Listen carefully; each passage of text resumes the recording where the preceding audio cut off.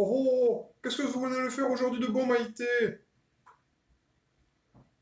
Eh bien, mon petit mignon fraise, aujourd'hui nous allons faire un gâteau au yaourt vegan avec des pommes.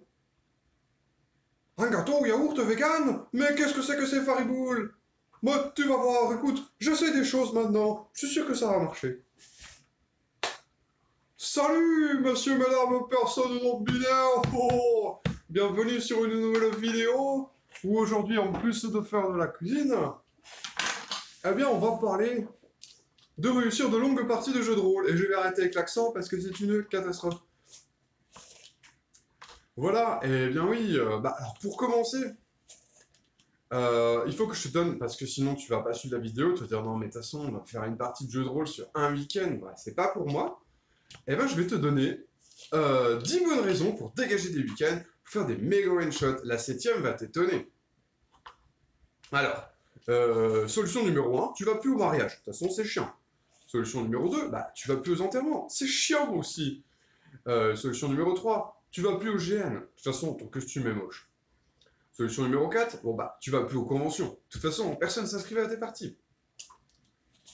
Solution numéro 5, tu ghostes tes amis non rôlistes.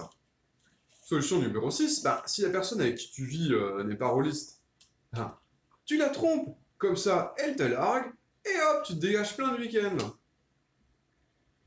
La solution numéro 7, tes amis ne sont pas rôlistes. Qu'est-ce que tu vas faire? Traduction. Hein. Euh, moi, moi, ce que je préfère, c'est la pétanque. Eh bien, il y a le sponsor de cette vidéo, le laser Rollistizer.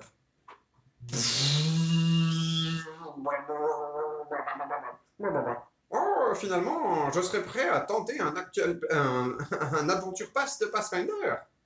Et voilà, c'est incroyable. En plus, euh, c'est en 4 paiements faciles de 99,99$ avec une réduction de 30% si tu tapes le code dire 666. Attention, c'est valable qu'un jour. Euh, bon, solution numéro 8, eh ben, si tu tapes dans la grande distribution, bah, tu plaques ton boulot, et puis voilà, hop, tu te libères tes week-ends. Solution numéro 9, tu vois plus ta famille. Bon, de toute façon, franchement, est-ce que tu ris encore aux blagues de papy? Solution numéro 10, c'est tes amis qui sont pas dispo, eh ben tu enfermes leurs leur proches dans une cave, comme ça, d'une, ils sont dispo, et de deux, tu peux faire du chantage pour qu'ils viennent.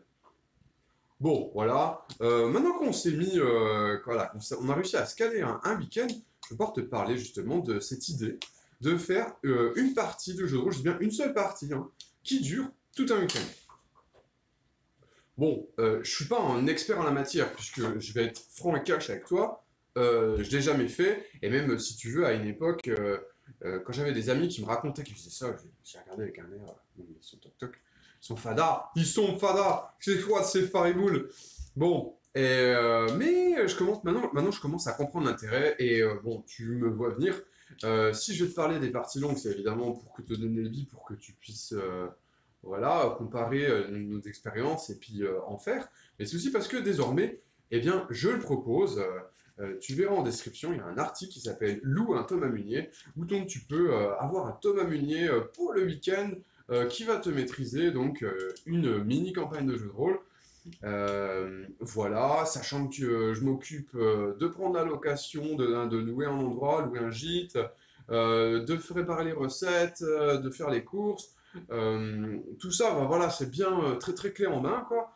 Et après, ça reste euh, super personnalisable. On peut discuter de tout, de l'endroit. Bon, moi, c'est surtout en Bretagne, mais on peut quand même discuter de faire ailleurs, euh, ailleurs en France, quoi. Et voilà, tout est discutable. Euh, je te renverrai vers l'article. sans plus tarder, maintenant, je vais passer à quelque chose de plus générique. Donc voilà, toujours est-il que maintenant, je comprends l'intérêt. Je vais t'expliquer c'est quoi l'intérêt de faire une partie sur un week-end. Bah, déjà, on va prendre le temps de s'immerger dans une ambiance, de dérouler une intrigue ou un défi complexe de développer des personnages, et aussi prendre le temps d'être plus zen en fait. Et euh, bon, bien sûr, euh, tout ce que je viens de te dire, c'est des choses qu'on peut faire en campagne, c'est-à-dire en, jouant par exemple une fois tous les mois. Mais du coup, on oublie beaucoup de choses entre les, entre les séances, il faut se remettre dans le bain et tout. Tandis que tu n'as pas ce problème avec euh, la partie longue. Moi, je trouve qu'elle en fait, elle propose une palette émotionnelle qui est plus large, et c'est quasiment en fait une école de jeu en soi. C'est pour ça que j'ai mis la, vidéo dans la catégorie euh, les pratiques.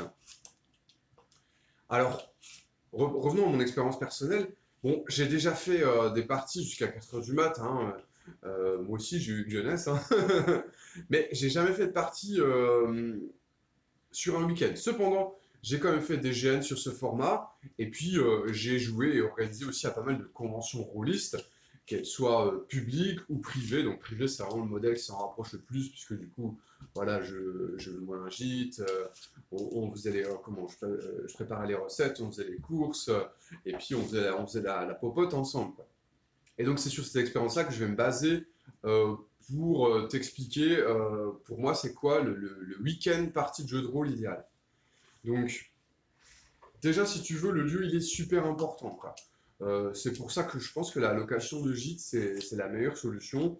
Euh, après, bon, bah, si, euh, si, si, l'un d'entre vous, a, l'un ou l'une d'entre vous a une maison, c'est bien aussi. Mais bon, voilà, la location de gîte, si on veut, voilà, mettons, on, on, se dit on fait ça une fois par an et tout, on peut marquer le coup et puis louer un endroit sympa. Quoi. du coup, je pense aussi qu'il faut travailler sur, sur la déco être vraiment une déco dans l'ambiance de la partie, sur la qualité du son, avoir des bonnes enceintes et tout. Euh, et puis, euh, au niveau qualité de vie, alors, je, moi, je déconseille, si tu veux, de, de, louer un endroit qui est totalement en zone blanche, parce que c'est un petit peu... Moi, je sais pas, je trouve ça bizarre. Euh, par contre, je pense quand même qu'il faut, faut se mettre d'accord ensemble sur une faible utilisation des smartphones, éventuellement juste limiter cette utilisation aux pauses, quoi autant hors jeu, quoi. Donc, quand même un moment un petit peu, un petit peu détox, quoi. Euh, voilà, je me permets d'insister sur, euh, sur la qualité de vie, si tu veux, quoi. Euh, c'est pour ça que moi j'aime beaucoup le, principe de faire la cuisine en commun, quitte à d'ailleurs bah, continuer les discussions RP pendant qu'on cuisine. Ouais, bah mon perso, il pose des gros pieds jaloux, c'est tout en épluchant les pommes. Et puis je pense qu'il faut se prévoir des, des temps off, quoi allez, pendant une heure, euh, on va se baigner dans la piscine, on va faire une promenade, on va juste chiller, quoi. Euh, euh, parce que de toute façon, c'est un week-end, tu vas faire ça a priori avec, avec des amis, avec des gens qui envie de passer du temps, et puis peut-être de discuter un tout petit peu autre chose que des jeux de rôle, quoi.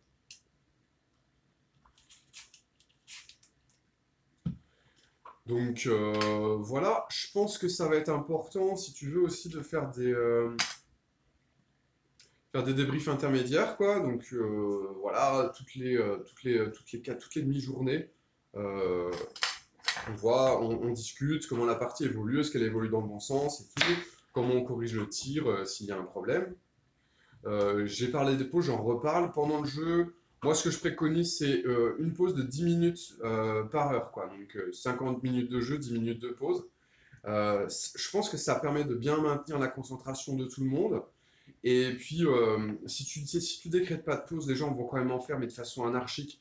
Ce qui fait que, grosso modo, euh, tu auras la moitié du temps, il y aura quelqu'un qui va être absent de la table, et du coup, à chaque fois que la personne revient, oui, alors qu'est-ce qui s'est passé pendant que j'étais aux toilettes, euh, en train de fumer ma cigarette, à regarder mes mails Bon.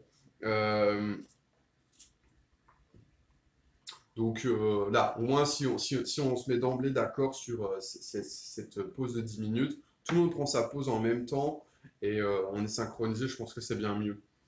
Euh,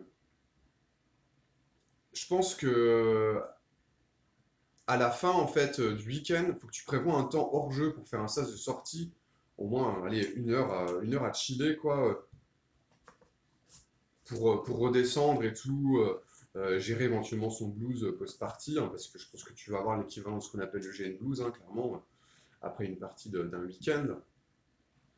Euh, au début du truc, au début, de, euh, au début du, euh, du week-end, fais-toi aider pour installer, même si c'est toi la personne, on va dire, qui organise le week-end. il faut pas que tu fasses, faut pas que tu fasses tout seul parce que tu vas te cramer. Et puis c'est quand même plus sympa se qu'on te fait en plusieurs. Le mieux pour que le, entre guillemets l'organisation collective fonctionne bien, c'est d'avoir euh, des to-do list, euh, voilà, des to-do list collectives que tu vas afficher. Et quand les gens ils font un truc, après ils vont, ils vont cocher que c'est fait, quoi. Euh, comme ça, tout le monde voit bien où on en est, de quelle aide il y a besoin. ça évite beaucoup de, stress, de, charge mentale. Euh, voilà, au niveau du nombre de personnes, moi je te conseille d'inviter assez de personnes, c'est-à-dire euh, euh, MJ plus 5-6 personnes. Ça, c'est pour gérer les désistements. Comme ça, si tu as deux personnes qui, qui annulent au dernier moment, bah, tu es quand même assez pour jouer. Et puis si vous êtes quand même MJ plus 6 personnes, tu vas dire c'est beaucoup. Mais on a tout un week-end, donc il y aura quand même assez de spotlight pour tout le monde, quand même avec 6 PJ, je pense que ça le fait. Quoi, hein. Donc, un week-end de jeu, euh, c'est long et court à la fois. J'ai fait un petit calcul euh, où on se donnait quand même des nuits de 8 heures, enfin 7-8 heures, de bonnes nuits, quoi. Euh, bah, on arrive seulement, en, voilà, en enlevant un petit peu tous les temps off, où on fait la cuisine, tout ça, on arrive seulement à 16 heures de, 16 heures de jeu, 16 heures de fiction, quoi. donc, c'est pas tant que ça, quoi. donc, si tu veux faire jouer une campagne du commerce, ben, tu vas sans doute devoir la dégraisser ou alors tu vas devoir trouver une campagne qui est modulable.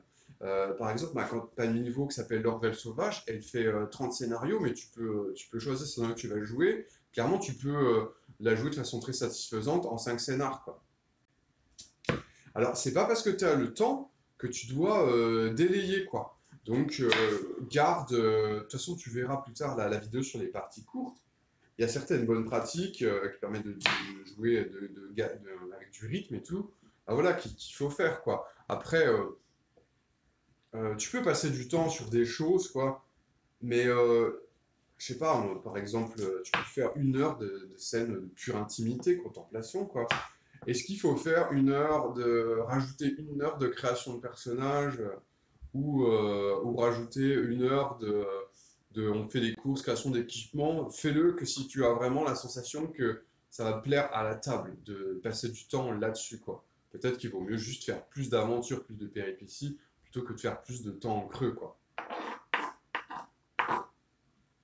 Voilà. Euh, pense à la table ouverte. Dans l'exemple où tu as 6 personnes, et ben, à la limite, on peut autoriser que tout le monde soit pas tout le temps en train de jouer, quoi. Et que ça se trouve, tu vas avoir en rotation toujours seulement 4 euh, personnes.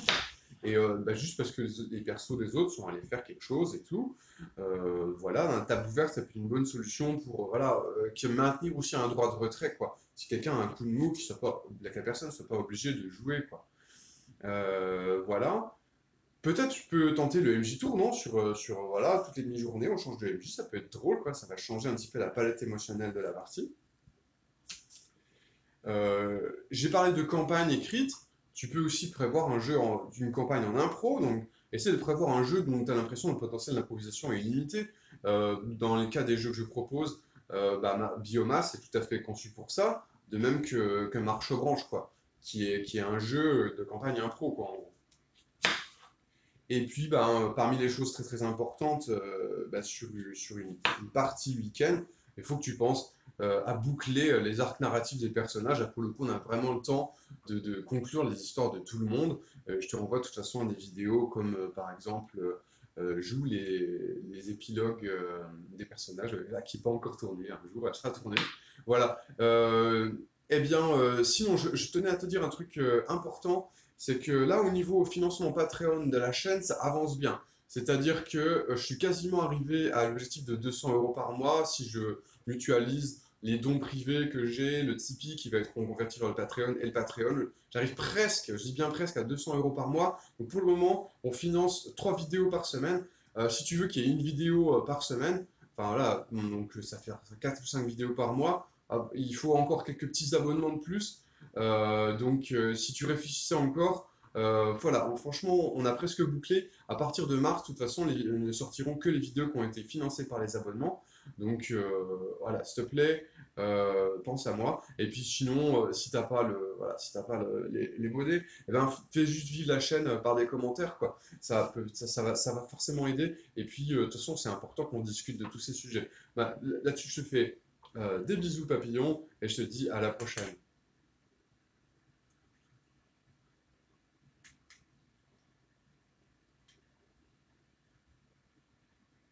Ok, mon truc ne marche pas. Je fais à la main.